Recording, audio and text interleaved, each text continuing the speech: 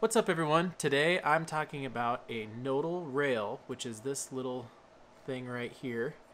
And uh, the reason why I'm talking about this is because it occurred to me recently that the way I'm using this is totally different from the way that this is really intended to be used. And I got to thinking about it and found that there's actually a variety of ways that I can use this tool uh, for both photos and video that I, I think are kind of outside of the um, the original intent. Which, uh, if I'm understanding correctly, the original intent of a nodal rail is actually to find the nodal point of your lens. Uh, primarily, I guess panoramic shots is really what it's what it's meant for. Because if you're going to pan and take a bunch of photos, you want the center of your panning axis to be at the nodal point of the lens. That's the way I understand it. Correct me if I'm wrong. Uh, I've never used it that way. Uh, so with that said, let's jump into the ways that I use this. This is like this is just asking for trouble, um, especially when it's at full full length zoom. Like it's it's very front heavy. Um, I yeah, this is a bad idea to try and set this up like this. To shift the camera back to find the center of gravity for this lens. So you can see if I do this, much more balanced um, by just shifting that that uh, whatever you, you call it shifting back a little ways on, on that rail. So now this is uh, with only adding a little bit of weight uh, and just one small item I'm able to easily balance a long lens on a small tripod. Um, and it's it's much more sturdy this way. Uh, and if I need to you know zoom or pull back and, and go to a wide shot, I could always just slide this forward. It's pretty easy to do that uh, and keep everything nicely balanced. Um, so yeah, so that's that's the first thing. Is so th these are Arca or Arca Swiss compatible. Um, so you've got an Arca rail on the bottom, you've got an Arca rail on the top. So you've got bot bottom and top, and then you have one that's 90 degrees to those two rails on one side. Uh, and that's that's what you would use for mounting your camera. You can also mount other Arca adapters on there too to you know to your you know what limit. Um, but for for my purposes, I pretty much just like to use this one this one little adapter. A note about Arca. So for a while, I was I was searching for a lightweight tripod that would work for both photos and video. And what I found was nearly all of the tripods that were nice and lightweight had some type of a of an ARCA compliant or ARCA standard um, tripod uh, or, or, mounting plate uh, for your for your cameras.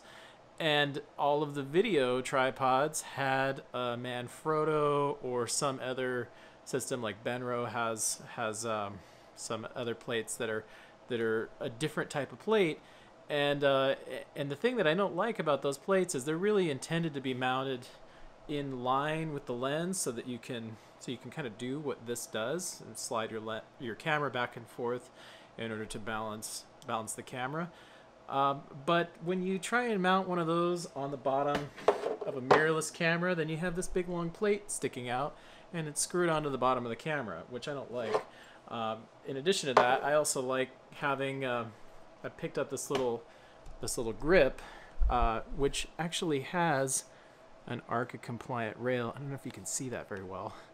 Just built right into the bottom of the grip. It's it's right there. So so I don't even have to screw anything onto this camera. And so I can attach this directly to my tripod or I can attach it with this nodal rail in order to balance things. Uh, so it kind of depends on my shot. For photos, sometimes I'll just I'll just hang on to the tripod. But if I'm going to be shooting a mix of photos and video, then I definitely want to have this with me because my best uh, my best chance at getting smooth pan and and tilt shots is uh, is going to be if my camera is nicely balanced on on a fluid head. So that's uh, that's really the main reason why I bought this originally. It's super useful. These cost like 20 bucks, which uh, to me is totally worth it for what you get out of it. Now, normally, if I was... Normally, if I wanted to get a really low camera shot with this, I would have to use my camera upside down. You would have to use your camera upside down, which means all the buttons are on the bottom, your screen, you know, it kind of kind of rotates that way, but not really. It it just it'd just be a pain. Like if you try to I tried to do that on here, you can mount it on there, but but it's you use your camera upside down. When would you ever use your camera upside down? So uh, we're not going to do that. So before we mounted this facing this way, but now we're going to mount it facing this way. Really close up. Um, I mean, I, I don't have a ton of space, but here, let's let's fire this this up. Um, let's see. Oh, you know, I probably probably forgot. I have to switch the um, the auto sense for the the eyepiece off because uh, I think it's probably detecting. In fact, I could probably double check. Yeah, see. Yeah, see the the the eye eyepiece sensor is too close to that, so I I would I would need I would need to turn that off uh, if I was going to use this that way. This this is actually the first time I really tried this, but but I thought of it earlier today and I was like, oh, that's cool. I, I wonder if that would work. Um, so at any rate, so you can use a nodal rail like this to get those cool low macro shots. Or just just even if they're not macro. I mean, even if it's just your you just want to, you know, get a really low shot. You can totally do that with one of these. And if you have a remote monitor, which uh, I've been debating getting. Uh, that would also help for this type of scenario since you got the tripod uh, head sort of in the way of the screen.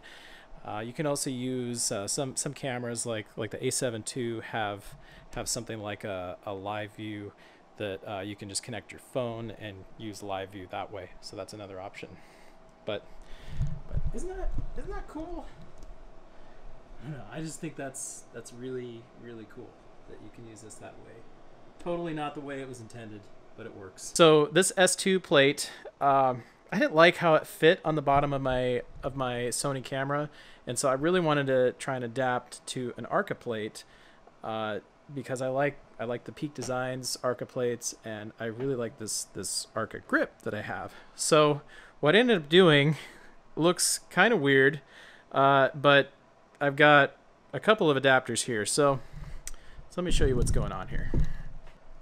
All right, and excuse the mess in the background. Uh, we have a one-year-old, and um, he he gets his toys out every time he he gets out. Uh, he's currently napping right now, which is why I'm able to make this video without uh, without a lot of interruptions. Um, so okay, so here's what we have. So there is first you have the Arca compatible grip on the bottom of the camera. Then you have the nodal rail. Uh, if you didn't have this nodal rail, um, you would have to uh, you'd have to do some things differently. But then I have um, on here I have an adapter which is is essentially it's just a, a quarter 20 screw mount uh, to to Arca compatible. Uh, they they call this like a skeleton clamp I think. Be I think it's because it's all milled out in the middle. Um, anyway, skeleton clamp sounds cool, I guess.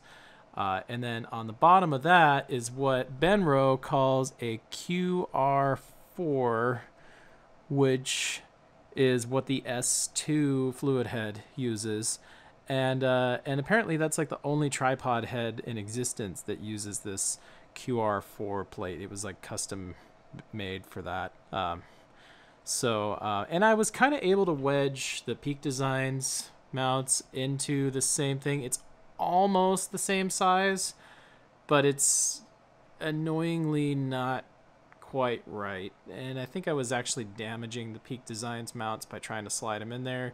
And then I had like another, like a three-legged thing, uh, Arca compatible mount that wouldn't fit. It was very inconsistent how, how those mounts would fit. So that, that's kind of what motivated me to try and figure, figure this out because I don't have a lot of money to spend on gear because I've already spent too much money on gear, and uh, and I think I I'll have to double check, but I think this little skeleton clamp adapter was like 10 bucks or something like that.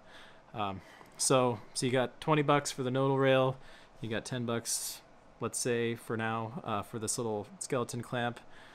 Um, I actually just take this and leave it on the, uh, flip that around, leave it on the um, Benro tripod head, which, I don't know if you can see that. Um, so that goes on there. Got the little skeleton clamp. You can actually see like there's a little bit of play in the um, in the QR4 uh, mount where uh, where you can lock that down. Now that doesn't move. Um, but so yeah, so now I can put my my camera on here and I can slide it back and forth, get it exactly exactly where I want it, and now now that's on a nice fluid head. And I don't have to keep a Manfrotto or a stupid QR4 uh, plate on the bottom of my camera. I'm able to just use this Arca compatible grip extension and no other plates, which which to me ends up being a nice clean setup. Maybe it's handy to have that grip uh, just stay on there. Maybe not. I don't know. But I just figured I'd show you that. Uh, if you do do that, then you are going to limit the range quite a bit in terms of how much you can balance balance the head on there. Uh, not balance the head, balance the camera on the head. Yeah, that's what I meant to say. Uh, but at any rate, just another thing to throw out there that I that I kind of figured out along the way. So if you like this video, uh, please uh, please give it a thumbs up. Uh, if you didn't like it, go ahead and give it a thumbs down. Uh, if you have any comments or questions or ideas for future videos, uh, please fire away below. And if you want to see future content like this, go ahead and subscribe and you'll be the first to know when I upload a new video. Thanks again, everybody, and have a great day. So just just by throwing this this rail on here, I can slide the camera back now it's it's much more stable on there for those nice smooth smooth shots. So just one more reason why just one more reason why that can be really handy depending on what you're doing. All right, thanks again. See you guys next time.